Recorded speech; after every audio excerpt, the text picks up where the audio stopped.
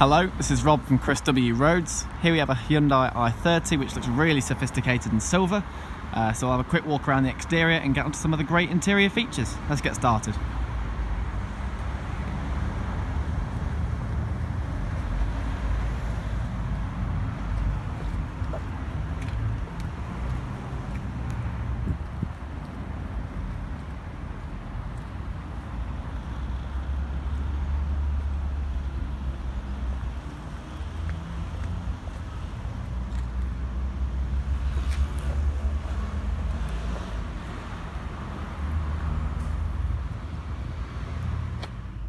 Okay, so now I'm just going to give a brief overview of the interior of the car.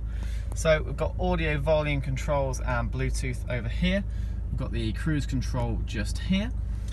just move over to the screen, uh, you'll see I've currently got the radio up. We've got FM and AM radio, it's all really nice and straightforward. I have a phone button just here that I can press to pair up a device with the car's Bluetooth.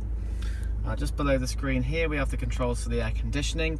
Really nice and simple to use. It's on a nice sort of gloss black background with satin black buttons. Just looks really neatly presented. Beneath that we've got the auxiliary and USB ports. Right next to this cubby hole here so you can keep all your devices, all your cables nice and out of the way uh, whilst you're driving. Uh, nice and simple gear knob with the satin sort of silvery chromy grey sort of colour with the gloss black. Looks really effective, looks really stylish on the interior of the car couple of cup holders just here which are always useful. And then we've also got the option to open the uh, the central armrest and we've got some storage space just in there. And we've got black and grey cloth upholstery again really neatly presented really comfortable as well which is obviously important.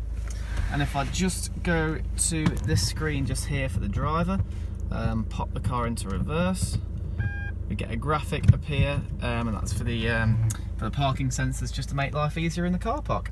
Um, so for more details, please visit our website at www.chriswroads.co.uk.